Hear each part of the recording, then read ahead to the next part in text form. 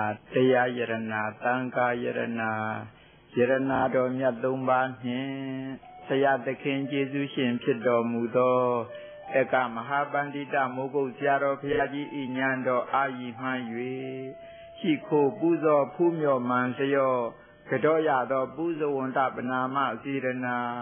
သဒ္ဓပညာဝီရိယတို့ကြောင့်မိမိတို့အလိုရှိအပ်တောင်းတအပ်သော မအိုးမသေးအမြဲနေသောနိဗ္ဗာန်သို့၎င်းဒုက္ခခသိင်ကင်းခြင်းရာဖြစ်သောနိဗ္ဗာန်သို့၎င်း1500ကိလေသာတို့ဤချုပ်ရာငြိမ်းရာသိမ်းရာဖြစ်သောနိဗ္ဗာန်သို့၎င်းမိမိတို့အထုတ်ဆဲဖြစ်သောဝိပဿနာဉာဏ်သည်လျင်မြန်စွာမဲ့ဉာဏ်သို့ကျေစုပြု၍နိဗ္ဗာန်သို့မျက်မှောက်ပြုလွယ်နိုင်သည်ဖြစ်ကြစေ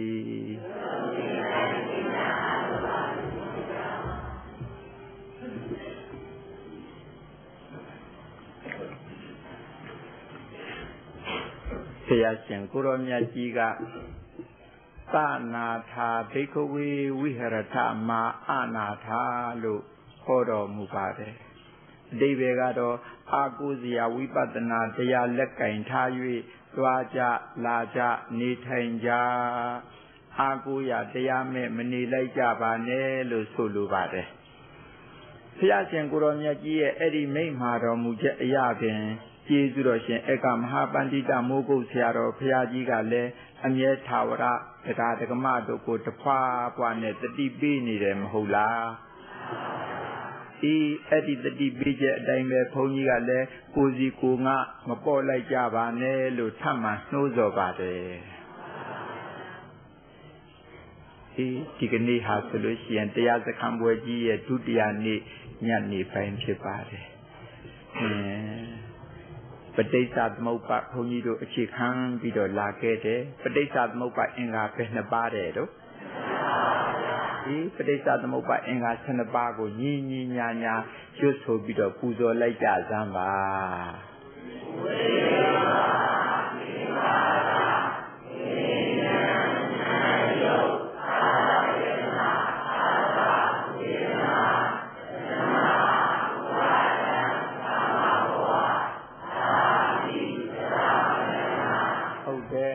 ဋိစ္စသမုပ္ပါအင်္ဂါ7ရက်ရှိပါတယ်သူတို့တွေဟာဟိုအကြောင်းအကျိုးများခွဲမဲ့ဆိုလို့ရှိရင်အဝိဇ္ဇာနဲ့သင်္ခါရကဘယ်အကျိုးလားအကြောင်းလားဆိုရင်အကြောင်းတရားဝိညာဏယုတ်တလာယရဏဖတ်တဝေဒနာ၅မျိုးကအကျိုးတရားတဏှာဥပါဒံကာမဘဝတို့ကအကြောင်းဇာတိသရမရဏတို့ကြတော့ ဟုတ်တယ်အကြောင်းအကျိုးအဲ့ဒါလိုနေပါတယ်အချိန်ကာလအပြင်ခွဲခြားမယ်ဆိုလို့ရှိရင်အဝိဇ္ဇာနဲ့သင်္ခါရကဘယ်ကာလလွန်လေပြီးတော့အတိတ်ကာလအဲ့ဒီနံပါတ်2ကွက်ထဲက5မျိုးနဲ့နံပါတ်3ကွက်ထဲက3မျိုးခေါင်းရှင်မျိုးကဘယ်ကာလယခုဖြစ်စေပစ္စုပန်ကာလနံပါတ်4ကွက်ထဲကဇာတိနဲ့ဇရာမဏတို့ကဘယ်ကာလ နောင်ဖြစ်လက်တအနာဂတ်ကာလကာလအဖြစ်ခွဲခြားတော့အဲ့လိုတွေ့တယ်နော်ဟိုအစအဖြစ်လိုက်ရှားတဲ့ခါကျတော့ဒုတိယအကွက်နဲ့တတိယအကွက်ကြားထဲမှာတစမဟုတ်လားပြီးတော့အဲပထမအကွက်နဲ့ဒုတိယအကွက်ကြားထဲမှာတစဟုတ်တယ်မဟုတ်လားဒုတိယအကွက်နဲ့တတိယအကွက်ကြားထဲမှာတစပြီးတော့တတိယကွယ်နဲ့သရုပ်ထကွယ်ကြားထဲမှာတစ စာလို့ပြောမယ်ဆိုလို့ရှိရင်တော့သင်္ခါရနဲ့ဝိညာဉ်သစ္စာပြီးတော့ဝေဒနာနဲ့တဏှာသစ္စာပြီးတော့ကာမဘဝနဲ့ဇာတိသစ္စာဒီပဋိစ္စသမုပ္ပါအင်္ဂါ7ရက်အတွင်းအစပ်ပဲနဲ့စပ်ပါတယ်ဒီအဲ့ဒီလို30ပါတဲ့နက်ကဘုန်းကြီးတို့ဒီကနေ့ပြောချင်တာဟာပထမအစပ်ပေါ်သင်္ခါရနဲ့ဝိညာဉ်တစားပါတယ်တော့သင်္ခါရနဲ့ဝိညာဉ်တစား ဒီအကြောင်းအရာဒီကနေ့ပြောရပါမယ်ဟိုလွန်လေပြီးတော့အတိတ်ကာလကအဝိဇ္ဇာဥစည်းပြီးတော့သင်္ခါရဆိုတဲ့အလုပ်တွေလုပ်ခဲ့တယ်လို့ပြောခဲ့ပါကောဘလောက်ပဲနေနေနောက်ဆုံးတစ်ဘဝလုံးချုံလိုက်လို့ရှိရင်အဝိဇ္ဇာဥစည်းပြီးတော့ကာယသင်္ခါရဝစီသင်္ခါရစိတ်သင်္ခါရဆိုတဲ့ကံစေတနာတွေလှုပ်လှုပ်ခဲ့တယ်မဟုတ်လားအေးအဲ့ဒီအစွမ်းတတ္တိတွေကြောင့်ယခုဒီဘက်ပစ္စုပန်ကာလမှာဝိညာဏယုတ်တလယရဏဖာတဝဝေဒနာ ခန္ဓာ၅ပါးကြီးဖြစ်ပေါ်လာတဲ့အကြောင်းကိုအကျဉ်းစားပြောထားတယ်နော်ဒီအတိတ်ကာလကနေပြီးတော့ဒီပစ္စုပန်ကာလဘယ်လိုဖြစ်ကြတာလဲဒါနဲ့ပတ်သက်ပြီးတော့ဘုန်းကြီးတို့ဒီကနေ့ခေါ်ကြပြောကြရမှာနော်အများအားဖြင့်ဘုန်းကြီးတို့သိနေကြတာကဟိုအတိတ်ကာလကသေလို့ရှိရင်ဟိုဘက်ကအသက်ကလေးထွက်လာပြီးတော့ဒီဘက်ပစ္စုပန်ကာလအမိဝါမှာဝိညာဉ်နာယုံနဲ့အသက်ကောင်ကလေးဝင်လာတယ်လို့ဒီလိုယူဆကြတာ အဲ့ဒါလိုယူဆတော့ဟိုဘက်ကအသက်ကောင်ကလေးကဒီဘက်ကိုရောက်လာတယ်ဆိုတော့အသက်ကောင်ကလေးကမသေးဘူးအတိတ်ပဲဖြစ်တာပေါ့မသေးဘူးဆိုတော့ခိုင်မြဲနေတာမဟုတ်လားခိုင်မြဲနေတာပါဠိလိုသတ္တတာခိုင်မြဲနေတာကိုပါဠိလိုသတ္တယူဆွဲတာကြတော့ဒိဋ္ဌိသတ္တနဲ့ဒိဋ္ဌိနဲ့ပေါင်းလို့ရှိရင်မဲသတ္တဒိဋ္ဌိဒီလိုဖြစ်သွားတယ်နော်ဟုတ်တယ်သတ္တဒိဋ္ဌိအမေမဲမဲ နဲ့စင်မဟုတ်ဘူးနော်လွန်လေပြီးတော့အတိတ်ကာလကသေးအသက်ကောင်းလေးကဒီဘက်ပစ္စုပန်ကာလအမိဝမ်းမှာလာရောက်တယ်ဆိုတော့ခန္ဓာကိုယ်ကြီးကသာရေမျောတယ်မီးရှို့တယ်မြေမြုပ်တယ်လှုပ်တာအသက်ကောင်ကလေးကတော့သူအလုတ်မခံဘူးပါဇက်ကနေထွက်ထွက်ပြီးတော့ဟိုဘက်ဘဝကိုကူးကူးသွားတယ်ဆိုတော့အတိတ်ပဲမဟုတ်လားဒီတော့အသက်ကောင်ကလေးကမြဲနေရမရောက်ဘူးလား မြဲနေတာပါဠိလိုသတ္တတယူဆွဲတာကဒိဋ္ဌိသတ္တတနဲ့ဒိဋ္ဌိနဲ့ပေါင်းရင်မေအဲ့ဒီသတ္တရဒိဋ္ဌိလေးသာဝင်တယ်ရှိနေလို့ကတော့တရားအားထုတ်မရဘူးတဲ့အေးဒီကနေ့ဒါလေးတွေပြောရမှာမထင်ရဘူးလားထင်တယ်အသက်ကောင်ကလေးတွေရှိတယ်လို့မထင်ဘူးလားထင်ပါတယ်အဲ့ဒီအသက်ကောင်ကလေးကဟိုဘက်ဘွားဟိုဘက်ဘွားကူးကူးသွားတယ်လို့ဒီလိုစွဲကြတာမဟုတ်လား ဟုတ်တယ်လူသေးတယ်ဆိုရင်ကြည်နေကြတာပါဇက်ကလေးကိုကြည်နေကြတာဘာလို့တော့ဆိုတော့ပါဇက်ကဟာကနေဆိုရင်အသက်ကလေးထွက်သွားတာကိုဒီလိုစွဲတာမဟုတ်လားအဲ့ဒါလိုလေးတွေစွဲတယ်တချို့ကြတော့လေအဲ့လိုမဟုတ်ပါဘူးဒီဘက်ဘဝမှာဝိညာဏနာယုတ်ဆိုပြီးတော့အသက်ကောင်းလေးရောဗာလေးရောဘဝအသက်တီထောင်တာဟိုဘက်နဲ့ဘာမှမဆိုင်ဘူးဟိုဘက်ကပြီးပြတ်တဘဝလုံးရုပ်ရောနာရောပြတ်အသက်ကောင်းလေးလည်းဟိုဘက်ပြတ်ဒီဘက်မှာဘာမှမဆိုင်ဘူး အာအတိတ်ကအတိတ်ပြီးခဲ့ပြီဒီဘက်ပစ္စုပန်ကာလဝိညာဏယုတ်အသစ်ထူထောင်ယူတာအတိတ်နဲ့ဘာမှမဆက်စပ်ဘူးဒီပစ္စုပန်ကာလအသစ်ထူထောင်ယူတာဒီလိုလဲကျွဲကြသေးတယ်အဲ့ဒါလိုဆွဲပြန်တော့လေအတိတ်နဲ့ဒီပစ္စုပန်ကာလနဲ့ကြားတယ်ပြတ်မနေဘူးလားပြတ်နေတာပါဠိလိုအုပ်စီတာယူဆွဲတာကဒိဋ္ဌိအုပ်စီတာနဲ့ဒိဋ္ဌိနဲ့ပေါင်းသင်္သာလဲမှားပြန်တာပဲ လွန်လေပြီးတော့အတိတ်ကာလနဲ့လုံးဝပြတ်တယ်လို့ယူဆပြန်လို့ရှိရင်လည်းမှားတယ်စောစောတုန်းကလို့ဆက်နေတယ်လို့ယူဆပြန်ရင်လည်းမှားတယ်ဒီမှားတာလေးတွေကတာမန်မဟုတ်ဘူးခွန်ကြီးတို့အမေတရားပြဖို့ရအတွက်အဟအတားဖြစ်တယ်နော်ဒါကြောင့်ဒီဥစ္စာလေးတွေပြောနေရတာ ဆက်လာတယ်လို့ယူဆပြန်လို့ရှိရင်လည်းပဲသတ္တတာဒိဋ္ဌိမဆက်ဘူးကြားတဲ့ပြတ်နေတယ်ဟိုဘက်ကဟိုဘက်ပြီးတာပဲဒီဘက်ကဒီဘက်အစ်စ်တတ်တတ်ထူထောင်းပြီးတော့ယူတာဆိုပြန်လို့ရှိရင်ဟောဥစီတာဒိဋ္ဌိနှစ်ခုလုံးမှားတယ်နော်မှားတယ်မှားတယ်ဥစေတာဒိဋ္ဌိ သတ္တတာဒိဋ္ဌိဒိဋ္ဌိပဲနှမျိုးတော့ငယ်ခုပဲဒိဋ္ဌိနှမျိုးတွေ့နေပြီသတ္တတာဒိဋ္ဌိဥစေတာဒိဋ္ဌိဟုတ်တယ်ဒီဥစ္စာလေးတွေပြောရပါမယ်ပြောရပါမယ်သိတယ်ဆိုလို့ရှိရင်တချို့အသက်ကငင်းနေတယ်တော်တော်နဲ့မထွက်ဘူးဒီလိုလည်းပြောကြတယ်နော်အသက်အသက်နဲ့ပြောတာပြောကိုပြောနေကြတာအသက်အသက်ဆိုကြတဲ့အတိုင်းဗိုက်ထဲအကောင်လေးအလောင်လေးရှိတယ်လို့ဒီလိုထင်နေတာမဟုတ်လား အသက်အောင်ထားမယ်လို့ကမပြောဘူးလား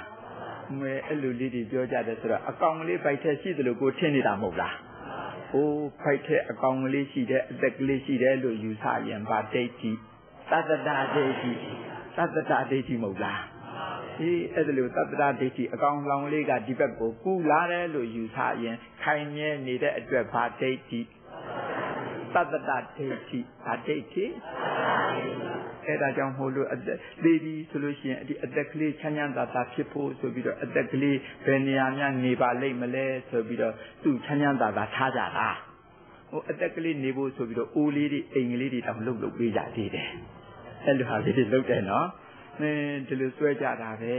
ဘုန်းကြီးတို့သိဆွဲကြတာပဲဟိုအသက်ကလေးစားဖို့တောက်ဖို့ဆိုပြီးတော့သူ့အတွက်လက်သက်သက်တပွဲတင်သေးတယ် အဲတုတ်တန်ချသွားတော့တောင်မှဒီအတက်ကလေးစားဖို့တောက်ဖို့ဆိုပြီးတော့ခေါင်းပေါ်မှာခောက်ဆွဲတုတ်ကြီးတွေတင်လိုက်တာဒီလိုမဟုတ်လားပြင်းလွတ်လိုက်တာတချို့လဲဆေးလိပ်စီကြီးတွေတွေ့ရဲ့အင်းအဲ့ဒီအသက်ကလေးကစားရလားတောက်ရလားတော့မသိဘူးတုတ်တန်ရောက်တဲ့ဆိုရင်သူ့ဘာရာဇာတွေကအဲ့ဒီအထုပ်ကိုအရင်ဆွဲတာပြီးတော့မှခေါင်းကြီးကိုပက်နေအေးအဲ့ဒါလိုပါပဲဒီအသက်ကလေးအသက်ကလေးရှိတယ်အသက်ကောင်ကလေးရှိတယ်လို့ယူဆနေရင် ခိုင်နေမြဲတယ်ပေါ့နော်ပါဒိဋ္ဌိအတ္တိတတ္တရဒိဋ္ဌိဝင်တဲ့ရှိနေလို့ကတော့တရားမရဘူးတဲ့နော်ဒါကြောင့်ပြောနေရတာပါ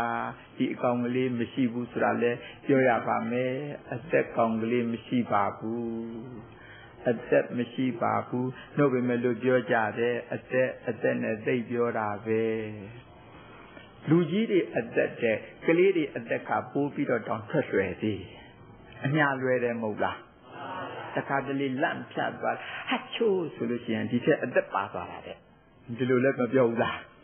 အဲ့ဒါကြောင့်အဲ့ဒီအသက်ကလေးထွက်မသွားအောင်လို့ဖမ်းချုပ်ထားတဲ့ကျိုးလေးတွေတောင်ဆက်တတ်ကြသေးတယ်လဲပင်းပါလေအဲလိပ်ပြားတို့အသက်တို့ဝိညာဉ်တို့ဇီဝတို့အတ္တတို့ဒီသဘောတွေအတူတူပေါ့အဲအသက်တို့လိပ်ပြားတို့အတူတူပဲနော် အဲကလေးရဲ့လိပ်ပြားလေးကပိုးတောင်တွဲလို့မလို့လေဒီလိပ်ပြားလေးဟတ်ချိုးနဲ့ခြိတဲ့အခါဘာမသွားအောင်လို့ချုပ်ထားတဲ့ကျိုးလေးတွေလည်းပင်ခြိတတ်ပါတယ်ကလေးပေါက်သားလေးတွေလည်းပင်မတွေ့ဘူးလားဟိုတပူးကိုလေမန္တမှုတ်တတ်တဲ့သူတွေမန်းမှုတ်ပြီးတော့လည်းပင်ဆွဲထားတာဘာကျိုးခေါ်တော့လိပ်ပြာချုပ်ကျိုးညံညံခေါ်တော့လိပ်ပချုပ်ကျိုးတဲ့ဟုတ်တယ်မဟုတ်လားအဲလိပ်ပချုပ်ကျိုးဒီလိုခေါ်ကြတာမဟုတ်လားဟုတ်တယ်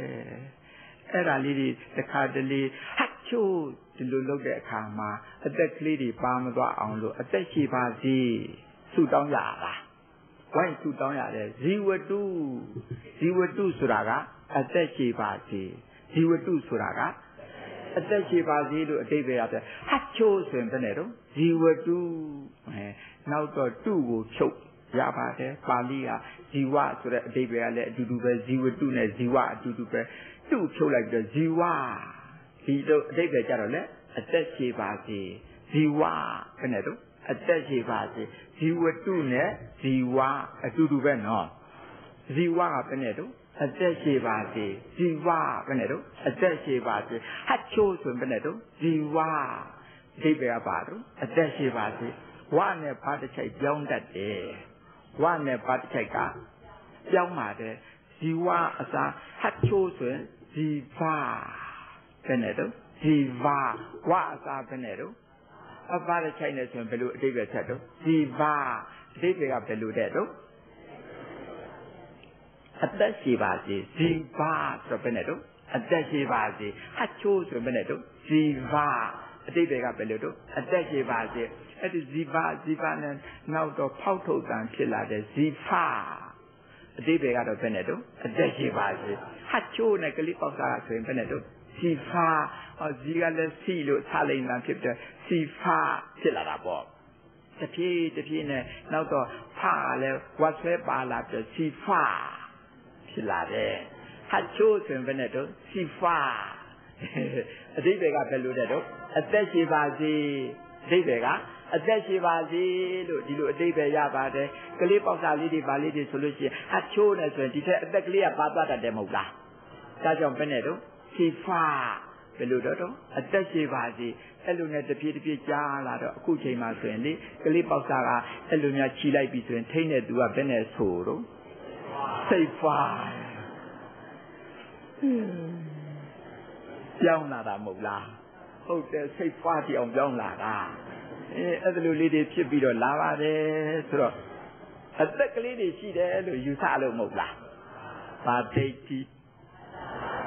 သတ္တတဒိဋ္ဌိအဲ့ဒါလိုခွန်ကြီးတို့ဆွဲကြပါတယ်တရားဓမ္မတွေဆွဲကြပါတယ်အဲ့ဒီသတ္တတဒိဋ္ဌိသာရှိနေလို့ကတော့တရားမရဘူး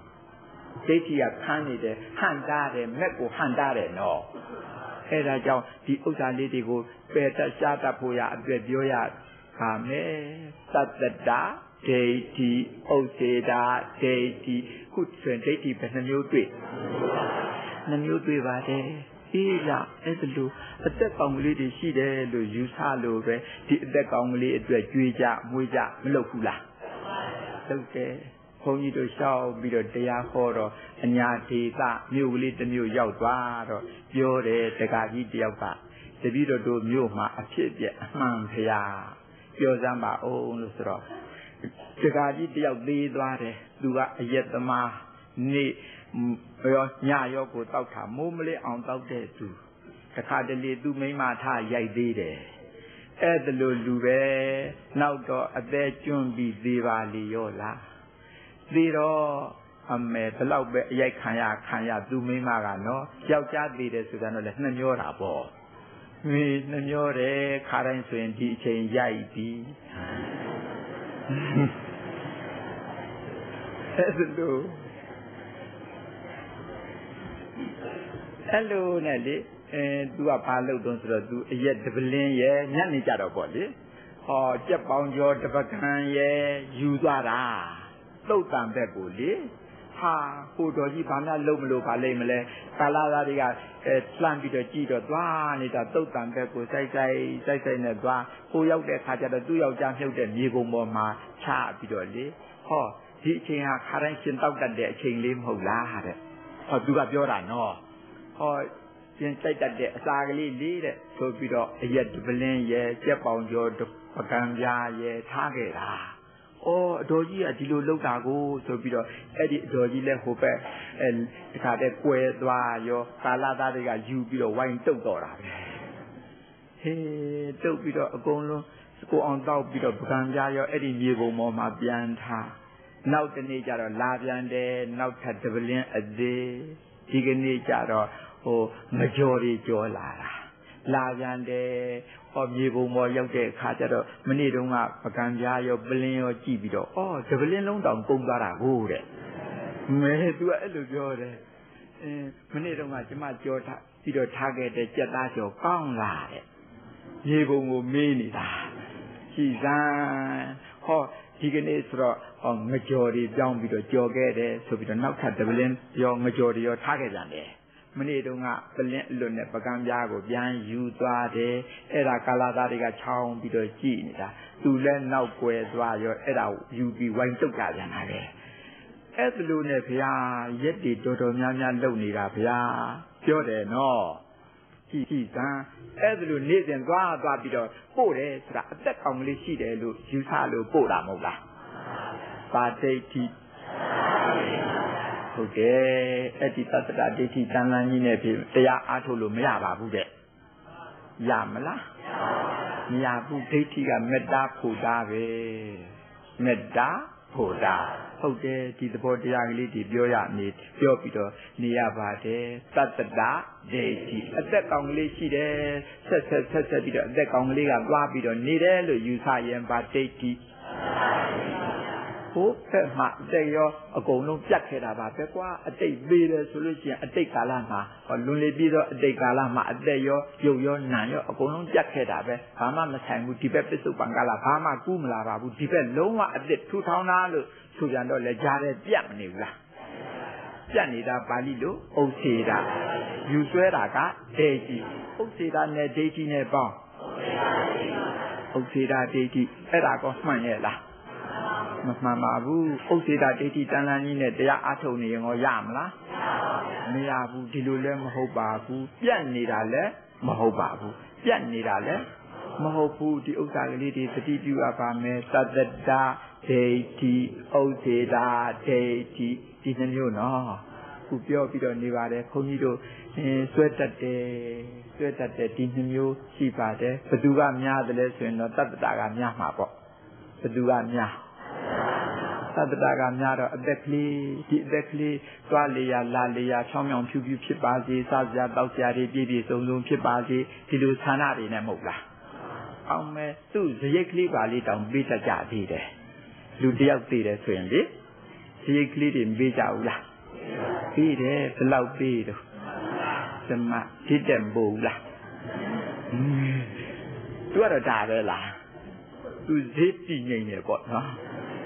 ဟုတ်တယ်တမတ်ကတော့အေးဒီလိုတမတ်တမတ်နဲ့ပေးတဲ့ဥစ္စာလမ်းမှာလေချောင်းမြကူချောင်းရတွေ့လို့ရှိရင်သူဒီဥစ္စာလေးနဲ့ဇရိတ်ပေးပြီးတော့ဟိုဘက်ကိုကူးပေးဖို့တို့ကူးပေးဖို့မဟုတ်လားကျွန်တော်ဟိုဘက်ကူးပေးပါဗျာရော့ဓမ္မဒီလိုမဟုတ်လားဓမ္မနဲ့ရပါမလားရဘူးခုမဲခုဆိုလို့ရှိရင်အဲ့ဒါလိုဒီဖြစ်ပါတယ်ကြည်စံဓမ္မဓမ္မနဲ့ပေးတာနော်ဘာဒိဋ္ဌိရှိလို့ သတ္တတဒိဋ္ဌိရှိလို့နော်အမေနဲ့နဲ့မအောင်မေးပါနဲ့နော်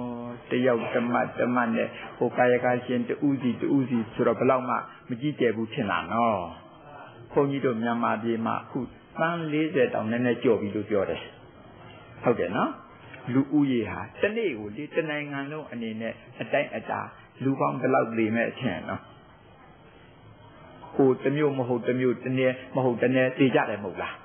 ဘုန်းကြီးတို့ရန်ကုန်မြို့မှာမနေဘူးနေ့စဉ်သေးနေတာပဲ။ဟိုမန္တလေးမြို့ကြီးတို့လိုမော်လမြိုင်မြို့တို့လိုမြို့ကြီးတွေမြို့ကြီးတွေဆိုရင်နော်သိသိသာသာမဟုတ်လား။ပြီးတော့တောရွာတွေလည်းတရွာမဟုတ်တရွာသေးနေကြတာမဟုတ်လား။ပြီးတော့တနိုင်ငံလုံးအတိုင်းအတာနဲ့ဆိုမဲ့ဆိုရင်ရှော့ရှော့ပေါ်ပေါ်တွက်တောင်းတနေ့ကိုလူပေါင်း100နော်ပို့တဲ့အခါပို့ဥစ္စာပေါ့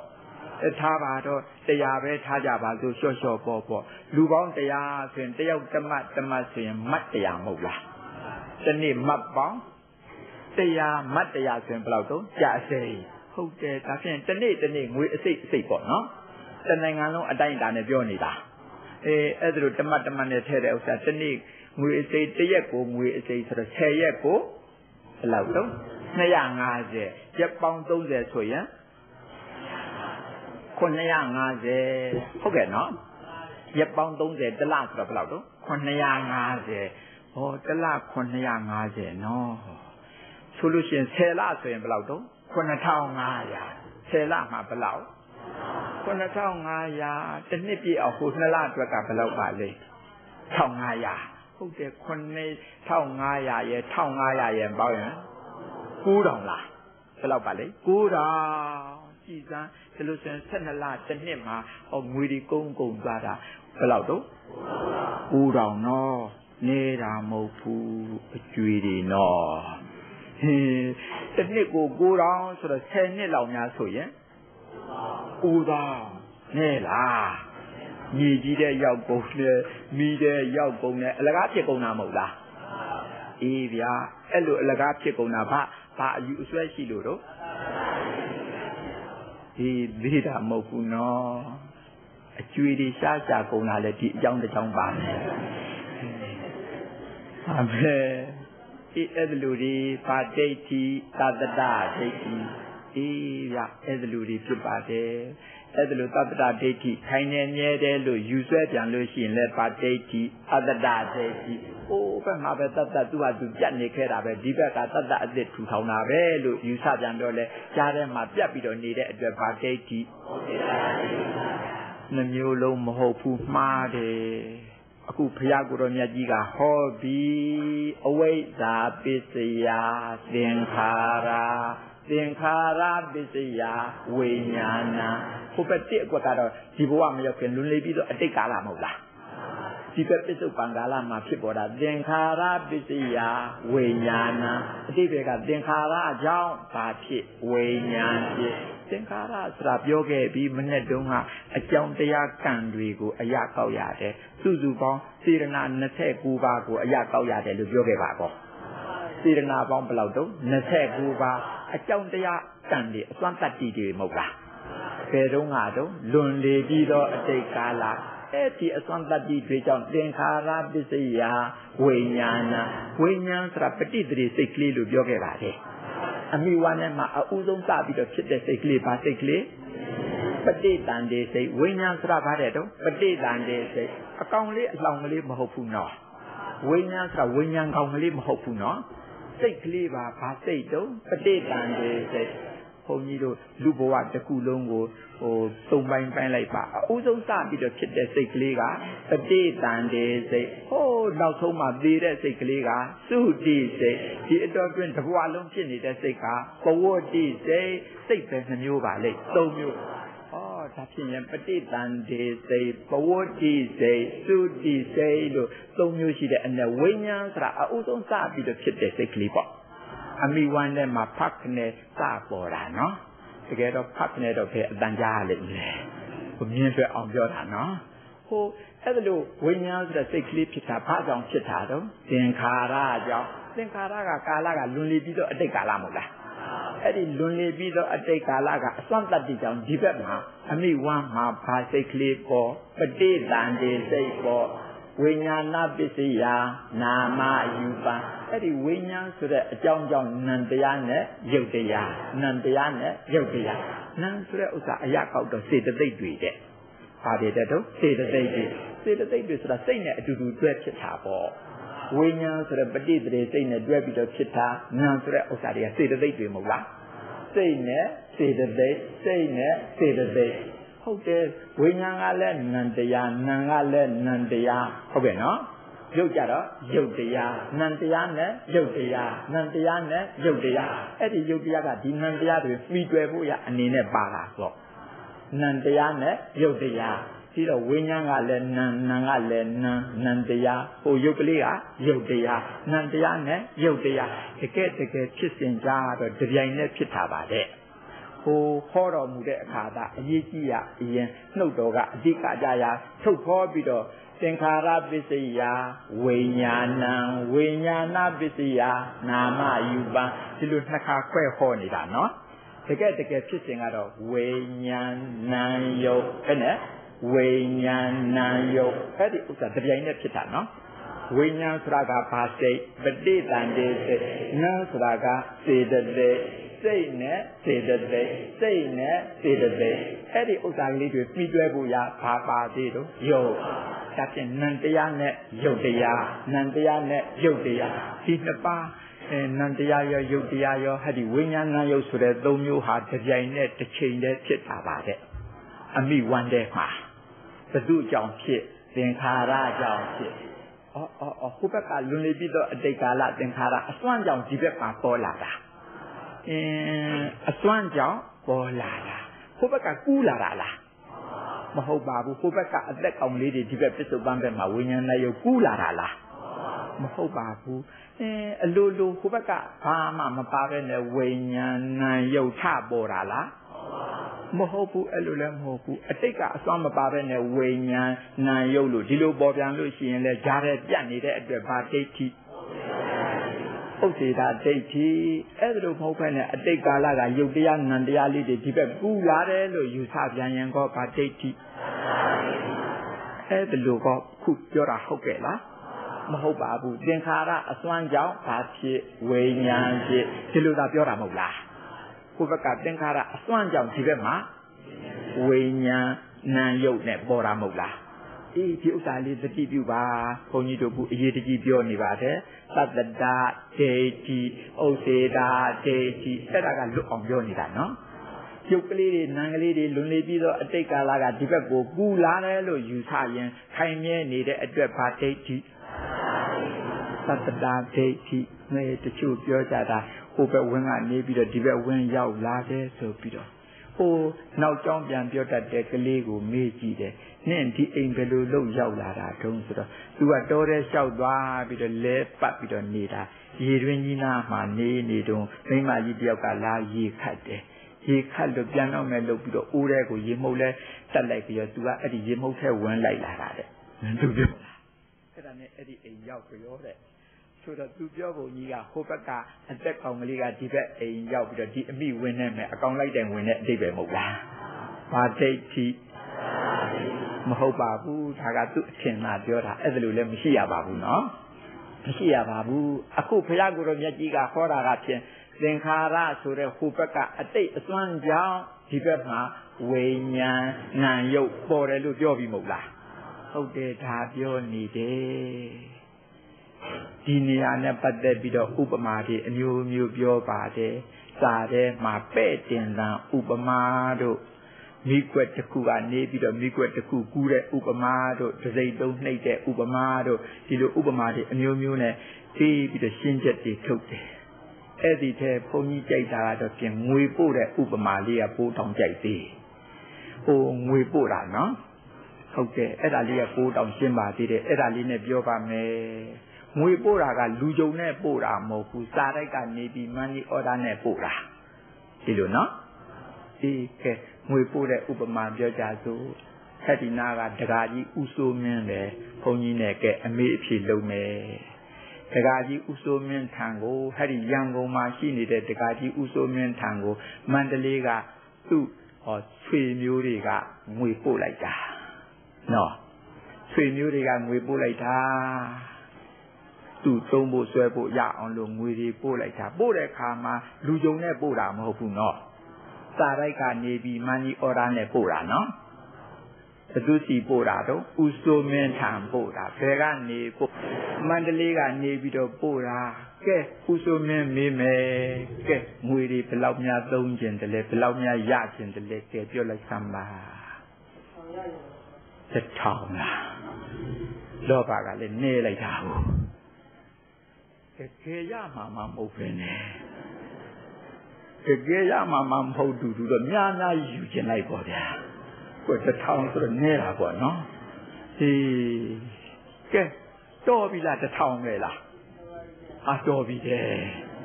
အာတရားတွေအာထုတ်ထားတာဆိုတော့လောဘနင်းမှာပေါ့နော်ကဲတစ်ထောင်ပဲတဲ့အော်အော်ဆွေမျိုးတွေကိုသူညှာတာရှိလိမ့်မယ် ကဲသူကတထောင်လူကျင်နေတယ်ကဲဆွေမျိုးတွေကမန္တလေးကဆွေမျိုးတွေကဟဲ့ဒီရန်ကုန်ဥဆိုမင်းထံငွေတထောင်ပို့တယ်တဲ့စာတိုက်သွားပြီးတော့ငွေတထောင်ရေးအပ်ဘောင်းချာတွေပါတွေဖြတ်ပြီးတော့အိမ်ပြန်သွားတယ်ဒီလောက်မှမကြပါဘူးဟော3-4ရက်လောက်လည်းရှိရောဟဲ့ဒီရန်ကုန်ကစာတိုက်မင်းကဥဆိုမင်းထံလာပြီးတော့ငွေတထောင်ပို့တယ်ရောခင်ဗျငွေပို့လိုက်တယ်ဆွေမျိုးတွေကဆိုပြီးတော့ငွေတထောင်အပ်တယ်နော် ခုဥစိုးမင်းထံငွေဘယ်လောက်ရတော့တစ်ထောင်ရတယ်ဥစိုးမင်းထံငွေဘယ်လောက်ရအဲ့ဒါမေးရမယ်အဲ့ဒီတစ်ထောင်ဟာဘယ်လိုလဲရန်ကုန်ကနေပြီးမန္တလေးကနေပြီးတော့ဒီရန်ကုန်ကိုယထာကြီးနဲ့တင်ပေးလိုက်တာလားဟောမော်တော်ကားကြီးတွေနဲ့တင်ပို့လိုက်တာလားဒါမှမဟုတ်လင်းမြန်ကြီးနဲ့ပို့လိုက်တာလားမဟုတ်ပါဘူးဗျာဟိုကပို့လိုက်တဲ့ငွေတစ်ထောင်ကပြန်ဟိုမှာစာတိုက်အပ်ပြီးတော့ဟိုဘန်မှာပဲနေရစ်လေရဲ့ မန္တလေးဘန်မှာပဲကြံရစ်တယ်ဟောဒီမှာရတဲ့ငွေတစ်ထောင်ကအဲ့ဒီရန်ကုန်ဘန်ကထုတ်ပေးတဲ့ငွေတစ်ထောင်ဟုတ်ကဲ့နော်ဒီဥစုမင်းထံရတဲ့ငွေတစ်ထောင်ကဘယ်ဘန်ကထုတ်ပေးရန်ကုန်ကဘန်ကထုတ်ပေးတဲ့ငွေတစ်ထောင်မှာငွေဘယ်လောက်ရတယ်ဘာဖြစ်လို့တစ်ထောင်ရတာတော့ဟိုကတစ်ထောင်ပို့တာကိုဟိုမန္တလေးကဘယ်လောက်ပို့လိုက်တာတော့ တစ်ထောင်ပို့လိုက်လို့ဥစိုးမင်းထံမှာတစ်ထောင်ပေါ်လာတာဒါပေမဲ့ဟိုကပို့လိုက်တဲ့အထုတ်လိုက်တိုင်းဒီရောက်လာတာတော့ဟုတ်ကဲ့လားမဟုတ်ပါဘူးဟိုကငွေကဟိုပဲနေရခဲ့တယ်ဒီကငွေကဒီကသက်သက်ပေါ်လာတာဒီမဲ့ဘယ်လောက်ပေါ်လာတော့တစ်ထောင်ပေါ်လာတာကဟိုကတစ်ထောင်ပို့လို့မလို့ဒီတစ်ထောင်ပေါ်တာပေါ့ဟိုကများတစ်ထောင်ပို့မယ်ဆိုရင်ဒီမှာ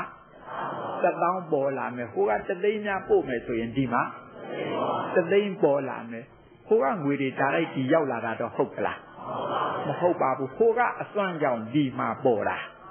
ဟိုကအစွမ်းကြောင့်ဒီမှာပေါ်တာ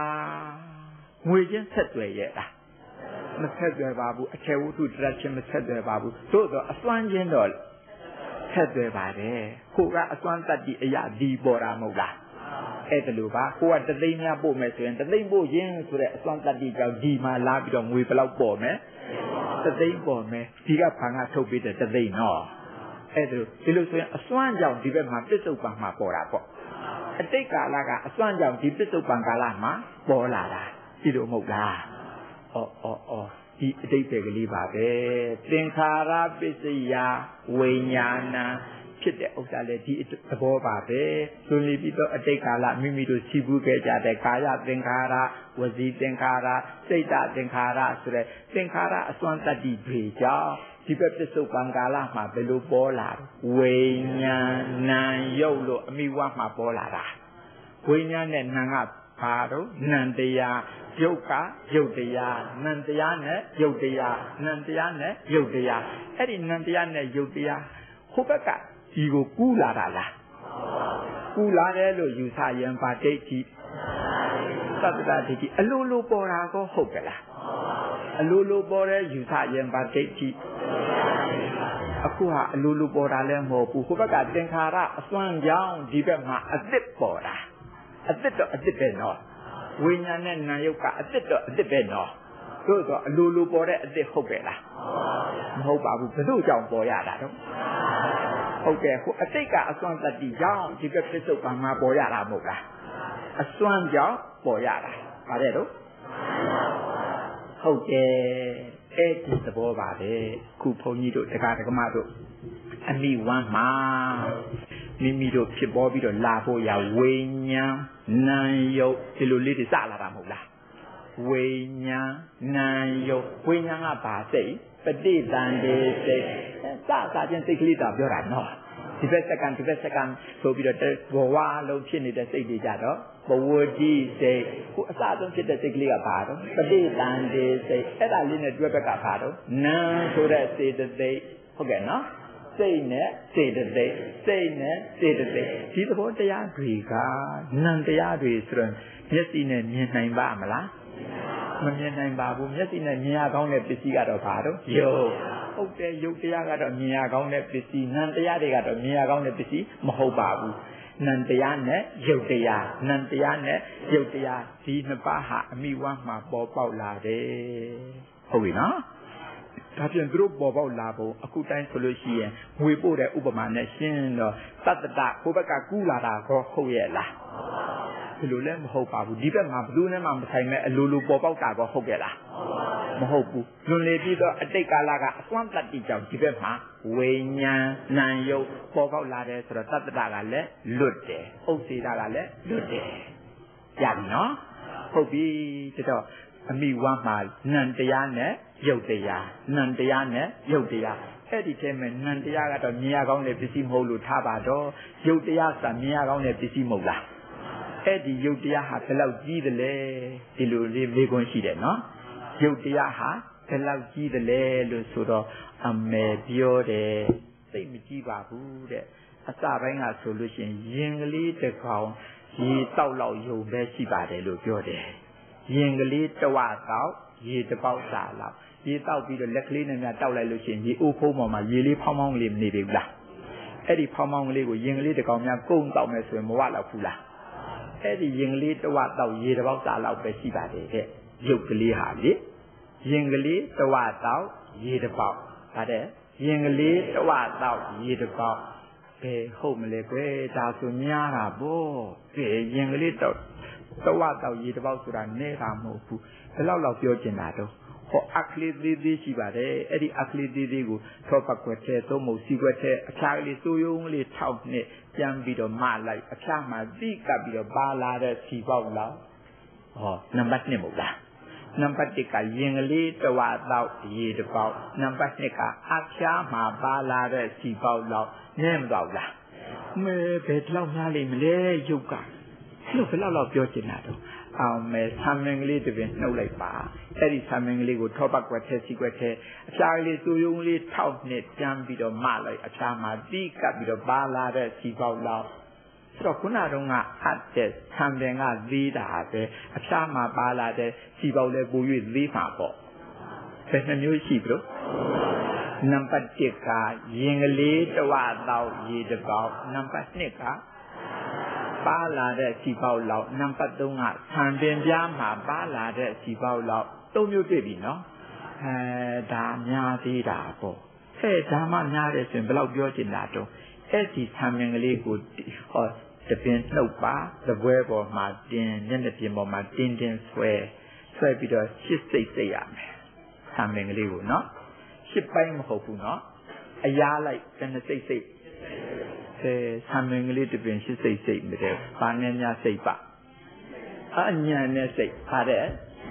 အဟုတ်တယ်ညံနဲ့စိတ်မှရမှာပါပရိဒါနဲ့စိတ်လို့ရမှာမရပါဘူးကဲညံနဲ့စိတ်လိုက်ပါဆံမင်ကလေးတပင်ကိုအရှိလိုက်အလျားလိုက်ရှိစိတ်စိတ်လိုက်တော့သစိတ်သောပမာဏမှုံမှုံသေးသေးလေးနေမှာပေါ့အဲ့ဒါဟာမြောက်ကျွန်းသူတို့ရဲ့ဆံတယ်ပါတယ်တော့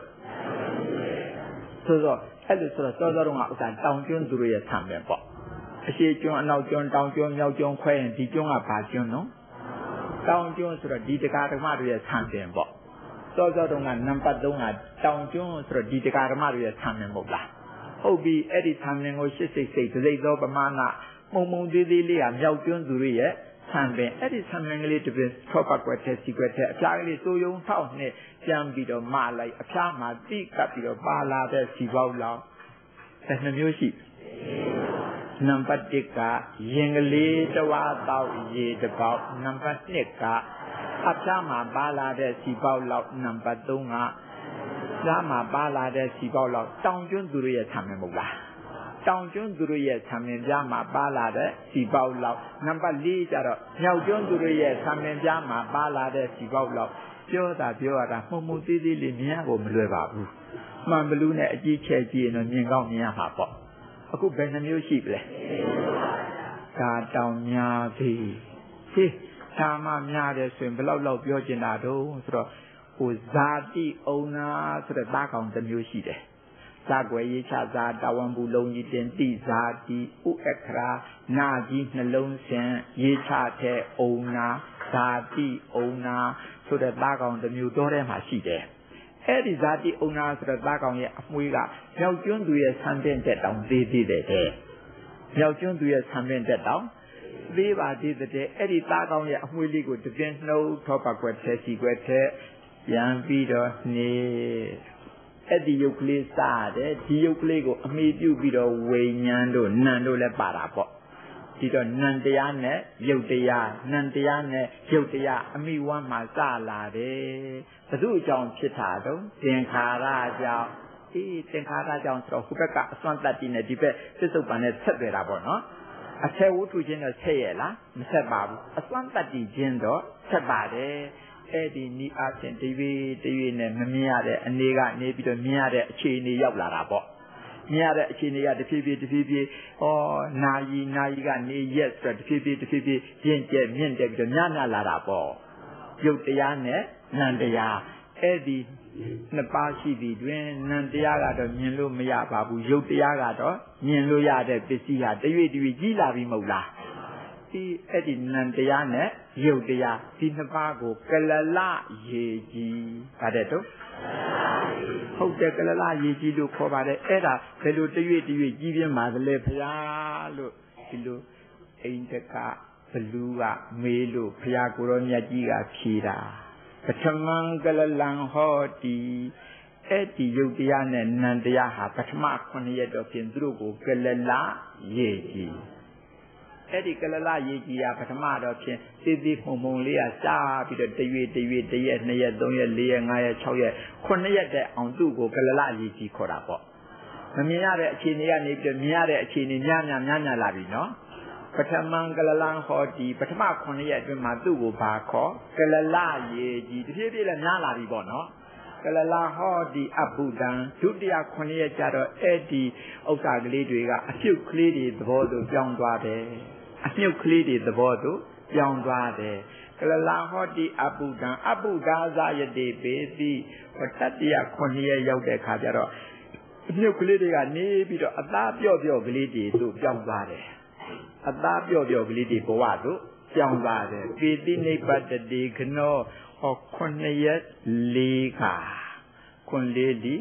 28အဲ့ဒီအခြေအနေရောက်တဲ့ခါကျတော့အသားပြော့ပြော့ကနေပြီးတော့အသားမာမာ အသားပြော့ပြော့ကနေပြီးတော့အသားမာမာပြန်ပြောကြဆိုပထမ9ရက်မှာကလလရေကြီးဒုတိယ9ရက်မှာအမြုပ်တတိယ9ရက်မှာအသားပြော့ပြော့သရုပ်ထ9ရက်ကြတော့အသားမာမာဟုတ်တယ်နော်ဟိုအဲ့လိုနဲ့နောက်ထပ်9ရက်နောက်ထပ်9ရက်ဆိုတော့9ရက်5ကခွန်5လီ 35အဲ့ဒီတလကြော်ကြော်အနေကြတော့ခက်မှ9ပြပေါ်မလို့ဟောလက်ပင်ကလေးသိမ်းလာတယ်ခေါင်းကလေးပေါက်မလို့လက်ပင်ကလေးသိမ်းလာတယ်လက်နှစ်ဖက်ပေါက်မလို့ဟိုဘက်ဘူးလေးဒီဘက်ဘူးလေးပေါ်လာတယ်ခြေနှစ်ဖက်ပေါက်မလို့ဟိုဘက်ဘူးလေးဒီဘက်ဘူးလေးပေါ်လာတယ်ဆိုတော့အဲအလုံး9ခုနေမှာပေါ့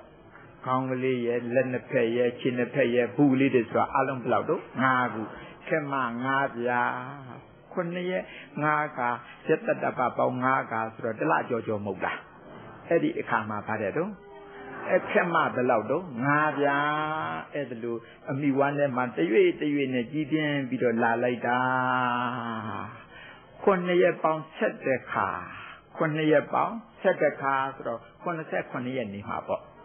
အင်း9ရက်89ရက်နေပါမယ်လဖွဲ့ကြည့်တော့နှစ်လကြော်ကြော်အနေထားမဟုတ်လား အဲ့ဒီခါမှာသက္ကုတ္တကဒီနိစာပါတုဘဝန္တိနောက်ထပ်၄မျိုးတိုးလာတယ်ဘယ်သူတွေတုံးဆိုတော့မျက်စိနာနှာခေါင်းရှာဟင်ကိုကိုကရပြီးသားပဲကိုကရပြီးသားမဟုတ်လားအဲစတော့ကအတိုင်းဟိုရုပ်ကလေးကတဖြည်းဖြည်းကိုဖြစ်တယ်မဟုတ်လားစိတ်ကလေးကလည်းပါပြီးသားမဟုတ်လားနောက်ထပ်တိုးတာကဘယ်နှမျိုး လေးမျိုးတိုးတာရပြီးသားကကိုလေးနဲ့စိတ်ကလေးကရပြီးသားမဟုတ်လားဆိုတော့အရင်ရပြီးသား2မျိုးနောက်ထပ်တိုးတဲ့ဥစ္စာက4မျိုးဆိုတော့အလုံးဘယ်နှမျိုး6မျိုးဖြစ်လာတာသလာယရနာပါတယ်တော့သလာယရနာဘယ်သူတွေတုံးဆိုတော့မျက်စိနာနှာခေါင်းရှားကိုယ်စိတ်အေးရပြီးသား2မျိုးရဲ့နောက်ကတိုးလာတဲ့4မျိုးရဲ့ဆိုတော့6မျိုးမဟုတ်လား 6မျိုးကိုဘာခေါ်သလာယရနာအမေတရွေ့တရွေ့ဒီလိုဖြစ်လာတာမဟုတ်လားဟုတ်တယ်ဟိုဘက်ကအစွမ်းကြောင့်ဝိညာဉ်တို့နာမ်ရုပ်တို့ဒီလိုပေါ်လာပြီးတော့တရွေ့တရွေ့တရွေ့နဲ့ဟော9ရက်ဆက်တဲ့ခါ89ရက်နှစ်လကြောကြောအနေထားမှာမျက်စိနားနှာခေါင်းရှားကလေးတွေပါတူလာတယ်အရင်2မျိုးနဲ့ဆိုတော့6မျိုးမဟုတ်လား6မျိုးကဘယ်သူတွေတော့မျက် သလာယရဏမျက်စိနားနှာခေါင်းရှားကိုယ်စိတ်သက6ခုအာယတနာကဒီယာဌာနာသအာယတနာဆိုတော့ဒီယာဌာနာ6ခုပါတယ်တော့ဒီယာဌာနာ6ခုနံတရားတွေဖြစ်ဖို့ရဒီယာဌာနာပေါ့နော်6ခုဘယ်သူတွေတော့မျက်စိနားနှာခေါင်းရှားကိုယ်စိတ် စိတ်ဆိုရင်ကိုတော့ရင်ပတ်သွားသွားထောက်တာရင်ပတ်ဟာစိတ်လားလို့မေးစရာနော်အဲဒီလိုမဟုတ်ပါဘူးဘုန်းကြီးတို့စာရီပီတွေထဲမှာအဲ့ဒီရင်ကြိုင်ထဲမှာပုံမျက်စေကံတွင်းကလေးရှိပါတယ်တဲ့အဲ့ဒီတွင်းထဲမှာသွေးကလေးတွေအောင်းနေတယ်ဒီသွေးလေးတွေထုတ်ကြည့်မယ်ဆိုရင်တစ်လက်ဆုံးလောက်ရှိပါမယ်တဲ့အဲ့ဒီတစ်လက်ဆုံးမြလောက်တော့သွေးကလေးတွေထဲမှာဟာတရားဝတ္ထုယုတ်တွေပြန်နှံ့နေတယ်အတိညာဆိုတဲ့သဘောတရားစိတ်တွေများဖြစ်ပေါ်ပြီးဆိုရင်အဲ့ဒီဟာတရားဝတ္ထုယုတ်ပေါ်မှာအမိပြုပြုဖြစ်တာ ဒါကြောင့်စိတ်ဆိုရင်အဲ့ဒီရင်ပတ်ပတ်ပတ်ညွှန်တာနော်ဒီအဲ့ဒါလိုပါဒီတော့6မျိုးဆိုတော့သအာယတနာမဟုတ်လားနောက်တော့ဆူလို့လွယ်အောင်အလေကောင်လာကြီးလေးထည့်လိုက်တော့သလာယရနာတစ်စက်ပူချောတာပေါ့နော်အာယတနာဘယ်နှပါ6ပါအာယတနာဘယ်နှပါ6ပါဘယ်သူတွေပါလဲမျက်စိနာနှာခေါင်းရှားကိုယ်စိတ်အမေကိုယ်တန်တန်ဖြစ်ပေါ်လာပုံလေးတွေဒီလိုမဟုတ်လား အဲ့ဒါလိုနဲ့တရွေ့တရွေ့အမိဝမ်းထဲမှာအဲအောင်ပြီးတော့လာလို့အမိစားတဲ့အစာအစာရောမိမိတို့မှာရရှိနေတဲ့ကံတရားတွေရောယာတိဥတုရောအစာအာဟာရတွေရောပေါင်းစုပြီးတော့တရွေ့တရွေ့နဲ့အမိဝမ်းထဲမှာရက်တတပပေါင်း40နဲ့2ခါခုနှစ်ရက်ပေါင်း40နဲ့2ခါဆိုတော့ရက်အားဖြင့်တွက်ကြည့်တော့290နဲ့4ရက်290နဲ့4ရက်လဖွဲ့ကြည့်တော့6လကြော်ကြော် ဆယ်လတွင်ဝင်လာပြီနော်အဲ့ဒီမှာမှာကေတာလောမာနခာပိစာဆိုပြီးတော့ဆံမင်းကလေးတွေမွေးညင်းကလေးတွေခြေသက်လက်သေးကလေးတွေပါပေါ်ပြီးတော့လာနော်အဲ့ဒီကနေပြီးတော့ဆယ်လပြည့်ပြည့်လဲရောက်ပြီးတော့အမိဝမ်းပြင်ပဲရောက်လာပြီးတော့လူတစ်လုံးသူတစ်လုံးဖြစ်လာကြတာအမေမလွယ်ပါပဲလားအေးအဲ့ဒါလို့တရွေ့တရွေ့ကြီးပြင်းလာပုံကိုဖရာကိုရောမြတ်ကြီးပြောပြတာကိုဘုန်းကြီးကတစ်ဆင့်ပြန်ပြောနေတာနော် ဟုတ်တယ်ဒီတော့မိမိတို့တွေမှာပေါ်ပြီးတော့အမိဝမ်းမှာရောက်လာတော့မျက်စိရဲ့နားရဲ့နှာခေါင်းရဲ့ရှားရဲ့ကိုယ်ရဲ့စိတ်ရဲ့ဒီလိုပါလာတယ်မဟုတ်လားသလာယတနာပါတယ်တော့သလာယရနာဘယ်သူတွေတော့မျက်စိနားနှာခေါင်းရှားကိုယ်စိတ်ကြံသေးလားဒါဆိုပုံရောမဟုတ်လား မိမိခန္ဓာကိုယ်ပေါ်မှာရှိနေတာဒီ6မျိုးပဲမဟုတ်လားဘာတွေတဲ့တော့မျက်စိနားနှာခေါင်းရှားကိုယ်စိတ်အဲဒီလိုဆိုတော့အဲကြည့်ပါဦးအင်းမျက်လုံးများဖွင့်ကြည့်မယ်ဆိုရင်ဟဲ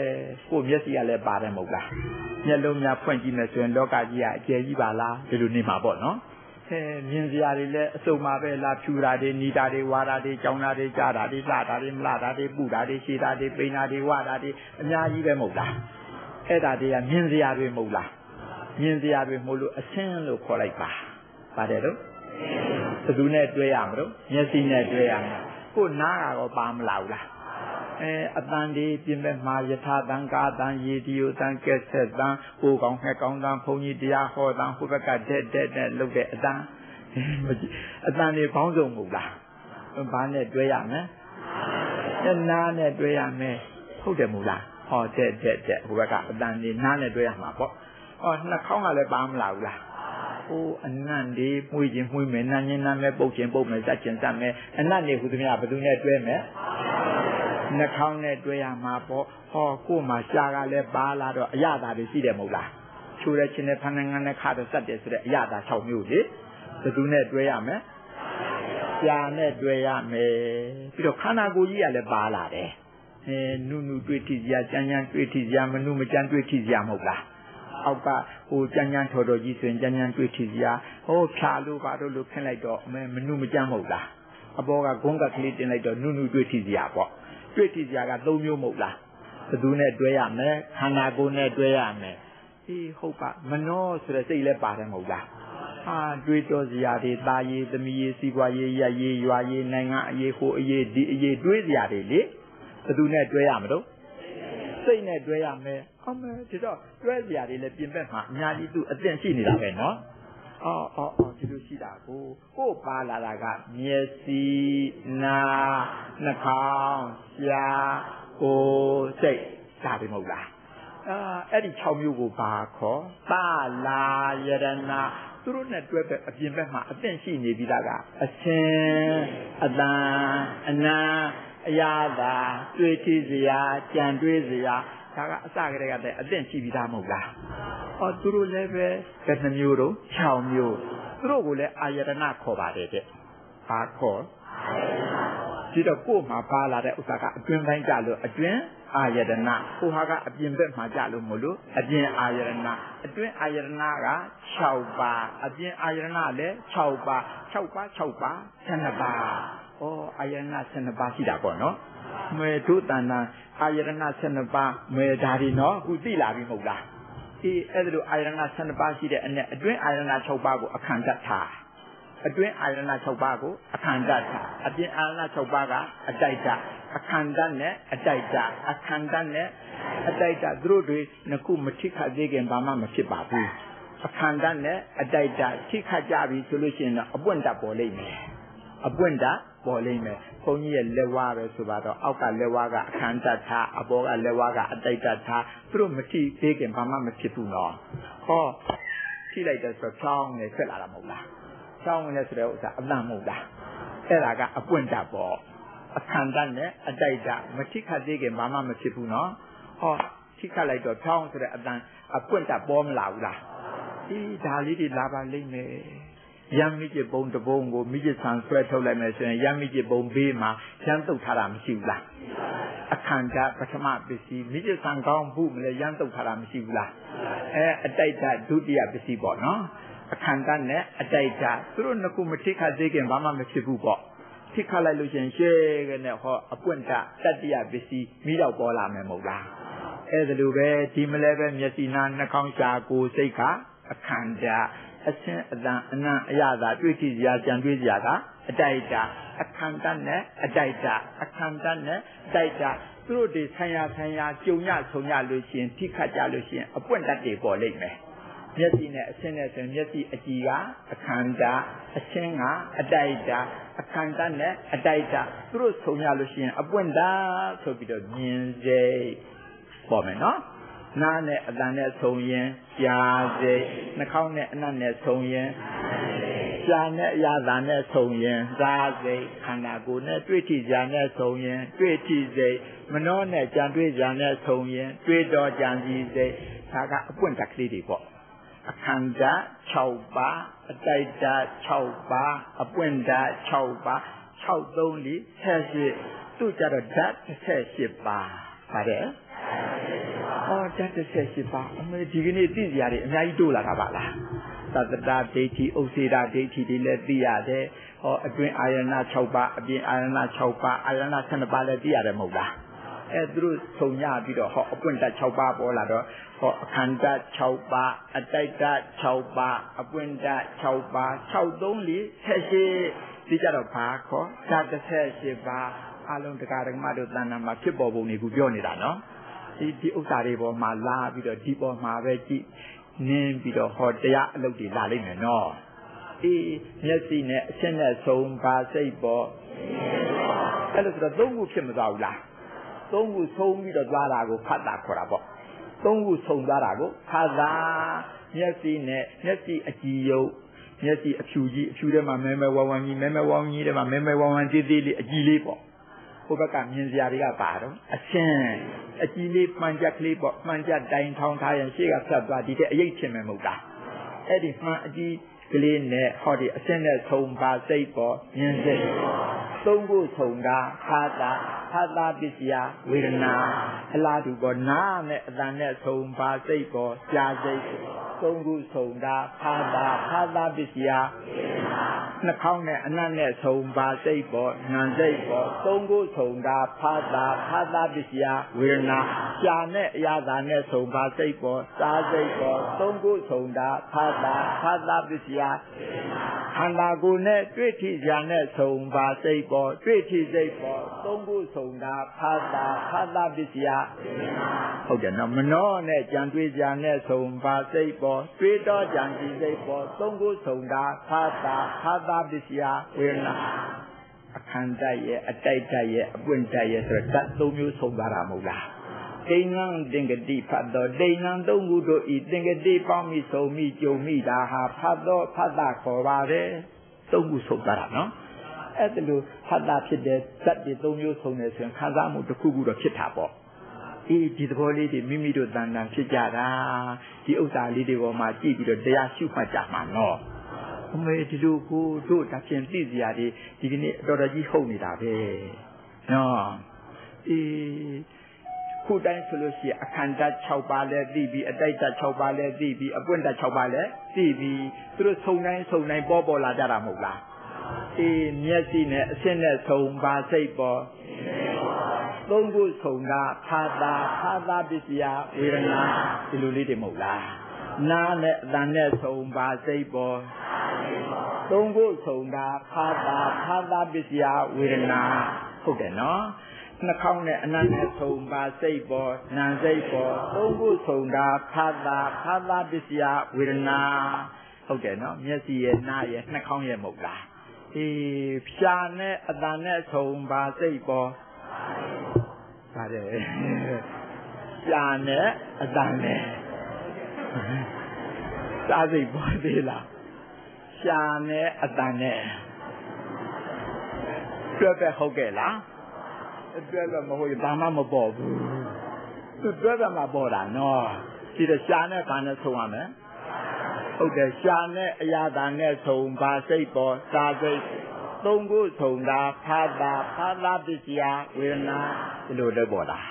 အေးခန္ဓာကိုယ်နဲ့တွေ့ထိကြနဲ့ဆုံးပါစိတ်ပေါ်တွေ့ထိစိတ်ပေါ်သုံးခုဆုံးတာခါတာခါတာပစ္စယဝေဒနာဒီလိုလာတာမဟုတ်လားပြီးတော့မနောနဲ့ကြံတွေ့ကြနဲ့ဆုံးပါစိတ်ပေါ်တွေ့တော့ကြံစီစိတ်ပေါ်သုံးခုဆုံးတာခါတာခါတာပစ္စယဝေဒနာ ဒီသဘောလေးတွေကိုယ်တဏ္ဍာပေါ်ကြတာဒီဒီဥစ္စာလေးတွေကိုကြည့်ပြီးတော့ညံနဲ့ကြည့်ပြီးတော့တရားအလုံးလုပ်ကြပါမယ်ဒီလိုဆိုရင်ဒီကနေ့ထီအောင်မိမိတန်တန်ဖြစ်ပြနေတဲ့သဘောတွေကိုပြောပြတာပထမအကွက်နဲ့ဒုတိယအကွက်ဒီအကွက်ကြီးနှစ်ကွက်ပြီးသွားပြီမဟုတ်လားနောက်ရက်တွေမှာဆက်ပြီးတော့သုံးအကွက်လေးကွက်တွေဟောမယ်ဒီကနေ့တော့အချိန်စေ့သွားပြီဖြစ်၍တော်ကြအောင်စို့